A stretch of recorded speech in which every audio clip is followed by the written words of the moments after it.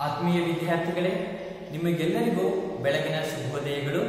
Welcome back to my class ನಾನು ನಿಮ್ಮ ಶಿಕ್ಷಕ ದ್ಯಾಮಣ್ಣ ಜಯ. ವಿಷಯ ಕನ್ನಡ ಆರನೇ ತರಗತಿಯವರಿಗೆ ಪದ್ಯ ಭಾಗ ನಾಲ್ಕು ಮಗು ಮತ್ತೆ ಹಣ್ಣುಗಳು. ಏನು ಈ ಮಗು ಮತ್ತೆ ಹಣ್ಣುಗಳು? ಈ ಪದ್ಯವನ್ನು ಬರೆದವರು ಯಾರು?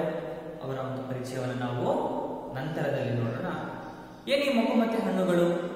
ಮಗು ಅಥವಾ ಮನುಷ್ಯ, ಇಲ್ಲಿ ಕವಿ ಹೇಳ್ತಾ ಇರೋದು ಮಗುವಿಗೆ ಅಥವಾ ಮನುಷ್ಯನಿಗೆ ಹೇಳ್ತಾ ಇದ್ದಾನೆ, ನೀನು ಹಣ್ಣಿನ ಹಾಗೆ ಇರು, ಒಂದು ಹಣ್ಣು ಕಾಯಿಯಿಂದ ಒಂದು ಹಣ್ಣಾಗಿ, ಅದೊಂದು ಮಾಗಿ ಪಕ್ವತನದಿಂದ ಕೂಡಿದ್ದು ಇತರರಿಗೆ ಹೇಗೆ ಮಾದರಿಯಾಗಿರುತ್ತೋ, ಇತರರಿಗೆ ಹೇಗೆ ಅದು ಇತರರಿಗೆ ತಿನ್ನೋದಕ್ಕೆ ಹೇಗೆ ರುಚಿಕರವಾಗಿತ್ತೋ ಹಾಗೆ ಮನುಷ್ಯ ನೀನು ಹಾಗಿರು ಅಂತ ಹೇಳಿ ಕವಿ ಪರೋಕ್ಷವಾಗಿ ತಮ್ಮ ಪದ್ಯದ ಮೂಲಕ ಇಲ್ಲಿ ಮನುಷ್ಯನಿಗೆ ಹೇಳ್ತಾ ಇದ್ದಾನೆ ಅರ್ಥ ತಿಳಿಯ ಪ್ರೀತಿಯ ವಿದ್ಯಾರ್ಥಿಗಳೇ, ಅಂದ್ರೆ ಮನುಷ್ಯ ತನ್ನ ಜೀವನದಲ್ಲಿ ಹೇಗಿರ್ಬೇಕು, ಅವನು ಯಾವ ರೀತಿಯಾದಂತಹ ಪಾಠಗಳನ್ನು ಕಲಿಯಬೇಕು ಯಾವ ದಾರಿಯಲ್ಲಿ ಆತ ಹೋಗಬೇಕು, ಆತ ಇತರಿಗೆ ಇತರರಿಗೆ ಹೇಗೆ ಮಾದರಿಯಾಗಿರಬೇಕು ತನ್ನ ಜೀವನವನ್ನು ತಾನು ಹೇಗೆ ಸಾಗಿಸಬೇಕು, ತನ್ನ ಬದುಕನ್ನ ಹೇಗೆ ಹಸನನ್ನಾಗಿ ಮಾಡಿ ಮಾಡಿಕೊಳ್ಬೇಕು ಅನ್ನುವಂತಹದ್ದು, ತನ್ನ ಬದುಕು ಬಂಗಾರವಾಗೋದಕ್ಕೆ ಆತ ಯಾವ ಯಾವ ರೀತಿಯಾದಂತಹ ಪಾಠವನ್ನ, ವಿಷಯಗಳನ್ನ ಅಂತ ಕಲಿಬೇಕು ಎನ್ನುವಂತಹದ್ದು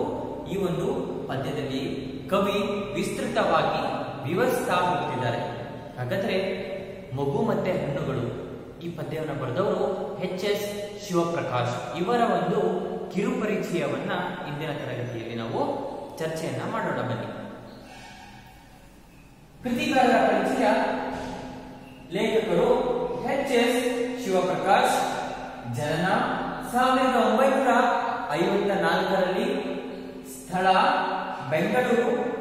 ಕೃತಿಗಳು ಮಹಾಚೈತ್ರ, ಸುಲ್ತಾನ್ ಟಿಪ್ಪು ನವಿಲು ನಗರ ಮಳೆ ಬಿದ್ದ ನೆಲದಲ್ಲಿ. ನೋಡಿ ಅವರ ಕೃತಿಗಳನ್ನ ಗಮನಿಸಿ. ಮಹಾಚೈತ್ರ, ಸುಲ್ತಾನ್ ಟಿಪ್ಪು ನವಿಲು ನಗರ ಮಳೆ ನೆಲದಲ್ಲಿ. ಇವರು ಬರೆದಿರುವಂತಹ ಕೃತಿಗಳು. ಪ್ರಶಸ್ತಿ ಅವರಿಗೆ ಲಭಿಸುವಂತಹ ಪ್ರಶಸ್ತಿಗಳನ್ನ ಗಮನಿಸೋಣ ಬನ್ನಿ.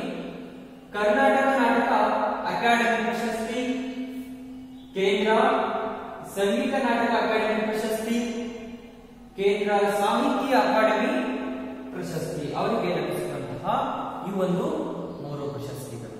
ಪ್ರೀತಿಯ ವಿದ್ಯಾರ್ಥಿಗಳೇ, ಈ ಪದ್ಯದಲ್ಲಿ ಬರುವಂತಹ ಪದಗಳ ಅರ್ಥವನ್ನು ನಾವು ಗಮನಿಸೋಣ ಬನ್ನಿ.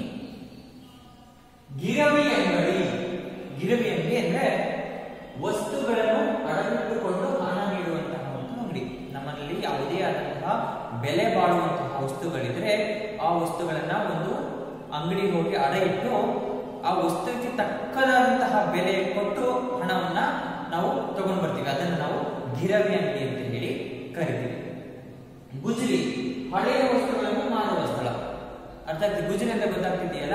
ನಮ್ಮ ಮನೆಯಲ್ಲಿ ಯಾವುದೇ ರೀತಿಯಾದಂತಹ ಹಾಳೆ ವಸ್ತುಗಳಿದ್ರೆ ಅಥವಾ ವೇಸ್ಟೆಡ್ ಮಟೀರಿಯಲ್ಸ್ ಇದ್ರೆ ಕಬ್ಬಿಣದಾಗಿರ್ಬೋದು ಅಥವಾ ಪಾತ್ರೆ, ಇನ್ಯಾವುದೇ ರೀತಿಯಾದಂತಹ ಎಲೆಕ್ಟ್ರಾನಿಕ್ ಐಟಮ್ಸ್ ಇವುಗಳನ್ನೆಲ್ಲ ವೇಸ್ಟ್ ಆಗಿರುವಂತಹ ವಸ್ತುಗಳಿದ್ರೆ ಅವುಗಳನ್ನ ಗುಜರಿಗೆ ಹಾಕಿ ಅಲ್ಲಿ ಆ ವಸ್ತುಗೆ ತಕ್ಕದಾದಂತಹ ಬೆಲೆಯನ್ನು ಕೊಟ್ಟು ನಾವು ಹಣವನ್ನ ಪಡೆಯುವಂತಹದ್ದನ್ನು ನಾವು ಗುಜರಿ ಸ್ಥಳ ಅಥವಾ ಗುಜರಿ ಅಂಗಡಿ ಅಂತ ಹೇಳಿ ಕರಿತೀವಿ.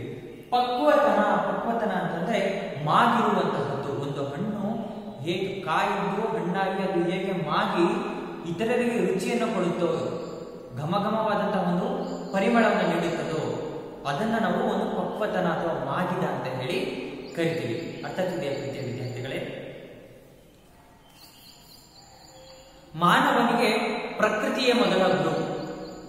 ಮನುಷ್ಯ ಪ್ರಕೃತಿಯಿಂದ ಕಲಿಯಬೇಕಾದಂತಹ ವಿಷಯ ಬಹಳಷ್ಟು ಇದೆ. ಎಲ್ಲರಿಂದಲೂ ಎಲ್ಲದರಿಂದಲೂ ಮನುಷ್ಯ ಕಲಿಯುವಂತಹ ವಿಷಯ ಬಹಳ ಇದೆ.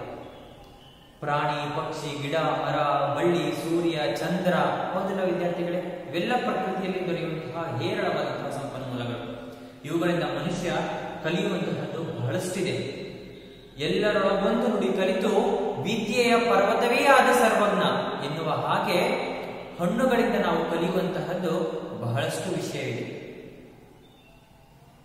ಹಣ್ಣಿನ ಹಾಗೆ ಬದುಕು ಮಾಗಿದರೆ ಬಾಳು ಸಿಹಿಯಾಗುತ್ತದೆ ಎಂಬುದು ಈ ಒಂದು ಪದ್ಯದ ಆಶಯ ಭಾವ ಅರ್ಥ ತಿಳಿಯ ಪ್ರೀತಿಯ ವಿದ್ಯಾರ್ಥಿಗಳೇ, ಹಣ್ಣು ಹೇಗೆ ಮಾಗುತ್ತದೆಯೋ ಹಾಗೆ ಜೀವನ, ಮನುಷ್ಯನ ಜೀವನದ ಜೀವನವೂ ಸಹ ಹಾಗೆ ಮಾಗಿದರೆ ಆತನ ಜೀವನ ತುಂಬಾ ಸಿಹಿಯಾಗಿರುತ್ತೆ, ತುಂಬಾ ಸಂತೋಷದಿಂದ ಆತನ ಜೀವನ ಇರುತ್ತೆ ಎನ್ನುವಂತಹದ್ದು ಈ ಒಂದು ಪದ್ಯದ ಆಶಯ ಭಾವ ಅರ್ಥ ಆಗ್ತಿದೆ ವಿದ್ಯಾರ್ಥಿಗಳೇ. ಹಾಗಾದ್ರೆ ನಾನು ಕವಿ ಪರಿಚಯವನ್ನು ಅಳಿಸ್ಲಾ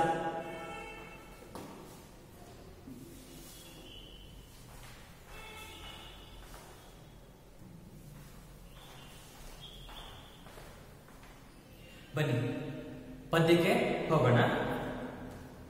ಮಗು ಮತ್ತು ಹಣ್ಣುಗಳು.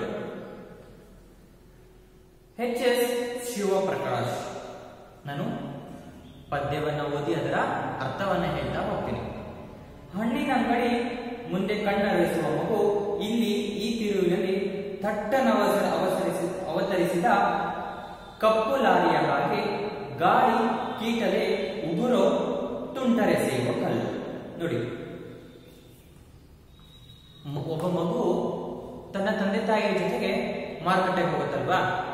ಮಾರುಕಟ್ಟೆಗೆ ಹೋ- ಹೋದ ನಂತರ ಅಲ್ಲಿ ಎಲ್ಲ ರೀತಿಯಾದಂತಹ ಅಂಗಡಿಗಳನ್ನ ಗಮನಿಸಿದೆ. ಒಂದು ಮಾರುಕಟ್ಟೆ ಅಂತ ಅಂದ ತಕ್ಷಣ ನಮ್ಮ ಕಲ್ಪನೆಗೆ ಬರುವಂತಹದ್ದು ಹಣ್ಣಿನ ಅಂಗಡಿ, ಹೂವಿನ ಅಂಗಡಿ, ಬಟ್ಟೆ ಅಂಗಡಿ, ಮುಜರಿ ಅಂಗಡಿ ಗಿರವೆ ಅಂಗಡಿ, ಅಲ್ವಾ?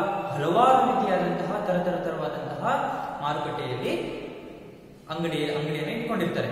ಆದರೆ ಮಗು ಗಮನಿಸುವಂತಹದ್ದು ಬೇರೆ ಯಾವ ಅಂಗಡಿಯನ್ನು ಆ ಮಗು ಗಮನಿಸುವುದಿಲ್ಲ.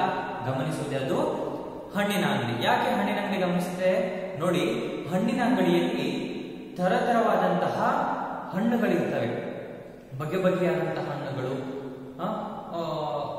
ತುಂಬಾ ರುಚಿಕರವಾದಂತಹ ಹಣ್ಣುಗಳು ಆ ಹಣ್ಣಿನ ಅಂಗಡಿ ಹತ್ರ ಹೋದಾಗ ಆ ಹಣ್ಣಿನಿಂದ ಬರುವಂತಹ ಒಂದು ಪರಿಮಳ ತುಂಬಾ ಚೆನ್ನಾಗಿರುತ್ತೆ. ಅದಲ್ಲದೆ ಹಣ್ಣುಗಳನ್ನ ಜೋಡಿಸುವಂತಹ ರೀತಿ ಒಂದು ಪಿರಮಿಡ್ ಮೂಲಕ, ಒಂದು ಇಲ್ಲಿ ಗಮನಿಸಿದೆಯಲ್ಲ ಗಮನಿಸಿದ್ದೀರಲ್ವಾ? ಒಂದು ಪಿರಮಿಡ್ ಮೂಲಕ ಜೋಡಿಸಿರುವಂತಹ ರೀತಿ. ಇದೆಲ್ಲದರಿಂದ ಮಗು ಆ ಹಣ್ಣಿನ ಅಂಗಡಿ ಆಕರ್ಷಿತವಾಗಿರುತ್ತೆ. ಹಾಗೆ ಆ ಹಣ್ಣಿನ ಅಂಗಡಿಯನ್ನ ನಾವು ಗಮನಿಸ್ತಾ ಇರುತ್ತೆ.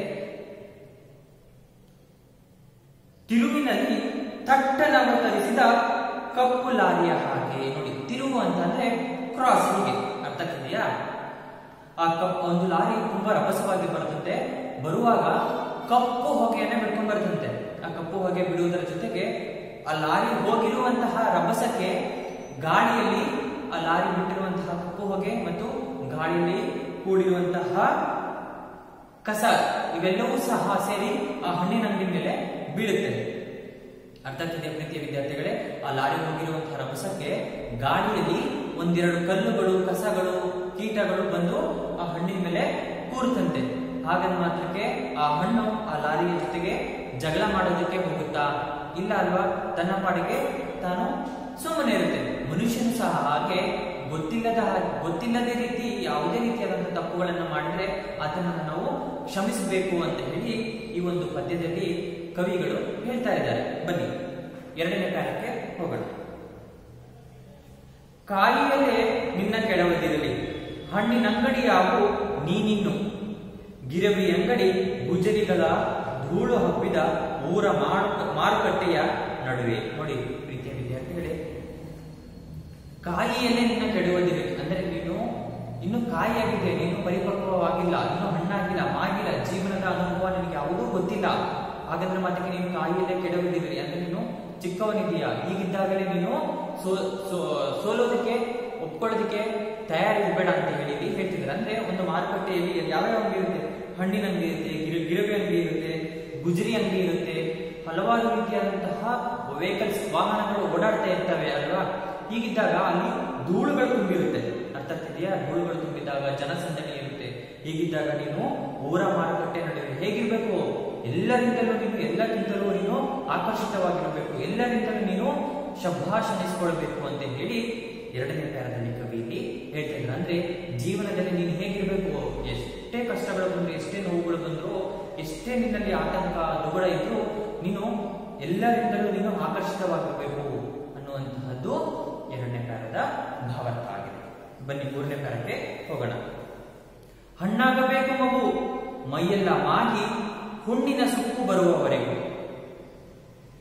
ಪಕ್ವತನ ಬೀರಿದ ಬಾಳೆಹಣ್ಣಿದೆಯಲ್ಲ ಅದರ ಹಾಗೆ ಕೊಂಚ ಬಾಗಬೇಕು. ಅಂದ್ರೆ ಇಲ್ಲಿ ಕವಿ ಮಗುವಿಗೆ ಹೇಳ್ಕೊಡ್ತಿದ್ದಾರೆ, ಏನಂತ? ನೀನು ಜೀವನದಲ್ಲಿ ಬಾಳೆಹಣ್ಣಿನ ಹಾಗೆ, ಅಂದ್ರೆ ಒಂದು ಬಾಳೆಹಣ್ಣು ಹೇಗೆ ಚೆನ್ನಾಗಿ ಕಾಯಿ ಕಾಯಿದಾಗ ಹಣ್ಣಿಗೆ ರುಚಿ ಇರ್ತಾ ಇಲ್ಲಲ್ವಾ? ಅದು ಕಾಯಾಗಿ, ಹಣ್ಣಾಗಿ ಮಾಗಿದಾಗೆ ಅಲ್ವಾ? ಒಂದು ಹಣ್ಣು ರುಚಿ ಆಗೋದು. ಹಾಗೆ ನೀನು ಚೆನ್ನಾಗಿ ಜೀವನದ ಅನುಭವಗಳನ್ನು ತಿಳ್ಕೊಳ್ಬೇಕು. ಹಣ್ಣಾಗಬೇಕು ಮಗು ನೀನು. ಮೈಯೆಲ್ಲ ಮಾಗಿ ಮುಂದಿನ ಸುಕ್ಕುವ ಬರುವವರೆಗೂ ಒಂದು ಹಣ್ಣಿನ ರೀತಿ ನೀನು ಪರಿಪಕ್ವ ಆಗ್- ಬಾಳೆಹಣ್ಣು ಬಾಳೆಹಣ್ಣಿದೆಯಲ್ವಾ? ಹಾಗೆ ಅದರ ಹಾಗೆ ಕೊಂಚ ಭಾಗ ಬೇಕು. ನೀನು ಪರಿಪಕ್ವತನವನ್ನು ಹೊಂದಿ ಜೀವನದ ಎಲ್ಲ ಅನುಭವಗಳನ್ನು ನೀನು ಪಡೆದುಕೊಂಡು ಬಾಳೆಹಣ್ಣಿನ ಹಾಗೆ ಬಾಕಿ ಅಂದ್ರೆ ಬಾಳೆಹಣ್ಣಿಗೆ ಹೇಗೆ ಅಂತ ನೋಡಿದಿರಲ್ವಾ ನಿಮಗೆ? ಗಮನಿಸ್ತೀರಲ್ವಾ? ಹೀಗೆ ಬಾಳೆಹಣ್ಣಿಗೆ ಹೇಗೆ ಬಾಗಿದೆಯಲ್ವಾ? ಹಾಗೆ ನೀನು ಬಾಗಬೇಕು. ಅಂದ್ರೆ ಜೀವನದಲ್ಲಿ ಗುರು ಹಿರಿಯರಿಗೆ, ಕಿರಿಯರಿಗೆ ಗೌರವವನ್ನು ಕೊಡಬೇಕು. ತಗ್ಗಿ ಬಗ್ಗಿ ನಡಿಬೇಕು. ಬದುಕಿನಲ್ಲಿ, ಜೀವನದಲ್ಲಿ ಅಂತ ಹೇಳಿ ಕವಿಗಳು ಹೇಳ್ತಾ ಇದ್ದಾರೆ. ಅರ್ಥ ಆಗ್ತಿದೆಯಲ್ಲ ಪ್ರತಿ ವಿದ್ಯಾರ್ಥಿಗಳೇ? ಕವಿ ಪರಿಚಯ ಆಯಿತು. ಈ ಒಂದು ಪದ್ಯದ ಆಶಯ ಭಾವ ಆಯಿತು. ಮೊದಲನೇ ಪ್ಯಾರ ಮತ್ತು ಎರಡನೇ ಪ್ಯಾರ ಮೂರನೇ ಪ್ಯಾರದ ಅರ್ಥವನ್ನು ನಾವು ಇಂದಿನ ತರಗತಿಯಲ್ಲಿ ಚರ್ಚೆಯನ್ನು ಮಾಡಿದ್ವಿ. ಮುಂದಿನ ತರಗತಿಯಲ್ಲಿ ಮುಂದಿನ ಕಾರ್ಯಗಳನ್ನು ಚರ್ಚೆಯನ್ನು ಮಾಡೋಣ. Thank you